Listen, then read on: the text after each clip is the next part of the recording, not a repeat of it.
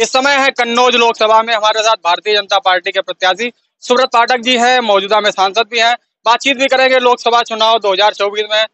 किस तरीके का रुझान मिल रहा है? अभी अगर बात किया तो जनसभा को संबोधित करके जा रहे हैं तो सर जी से बातचीत करेंगे। सर जी सबसे पहले स्वागत है समाज की नज़र पे। जो जनसभाएँ आप कर रहे हैं किस तरीके का रुझान मिल रहा है? निश्चित रूप से देखो देश की जनता मोदी जी को फिर से प्रधानमंत्री बनाना चाहती है उनके काम से प्रसन्न है और बस वोट डालने का इंतज़ार कर रही है। मौजूदा अगर बात की जाए तो इस समय सांसद है और सामने समाजवादी पार्टी के राष्ट्रीय अध्यक्ष चुनाव लड़ रहे हैं। क्या चुनौती मानते हैं? नाम बड़े और दर्शन छोटे। क्या वो है? देखो वो कुल मिलाकर वो चुनाव लड़ना सभी का अधिकार है। वो अपने लिए चुनाव लड़ रहे हैं हम अपनी पार्टी के लिए चुनाव लड़ रहे हैं। हम हमारा काम है मोदी जी को देश का प्रधानमंत्री बनाना उनका काम है राहुल गांधी को देश के प्रधानमंत्री बनाना। लेकिन तय जनता करेगी कौन प्रधानमंत्री होगा मोदी जी होंगे या राहुल गांधी होंगे। आप तो जनता में लगातार जा रहे हैं तो किस तरीके का हम तो जनता से यही अपील कर रहे हैं कि मोदी जी को फिर से देश का प्रधानमंत्री बनाया जाए।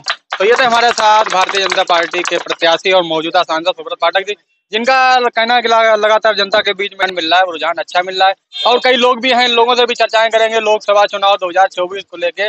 जनता का क्या मूड है? जनता किनको चुनना चाहती है?